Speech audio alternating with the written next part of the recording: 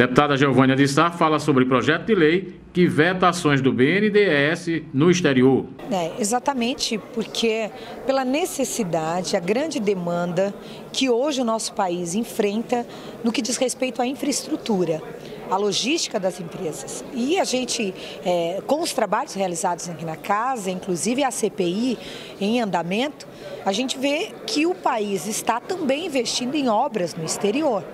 E como que nós vamos investir se o país enfrenta essa grande necessidade? Então foi com esse objetivo que nós apresentamos na casa, já protocolado, já em processo de tramitação nas, comissões, indo para a relatoria, o nosso projeto que proíbe exatamente o investimento de, do recurso do BNDES em países é, que não seja o Brasil. Então, que esse investimento seja realmente feito no nosso país por essa grande demanda, por essa grande necessidade nas nossas, nas nossas rodovias, BRs e infraestrutura de forma em geral.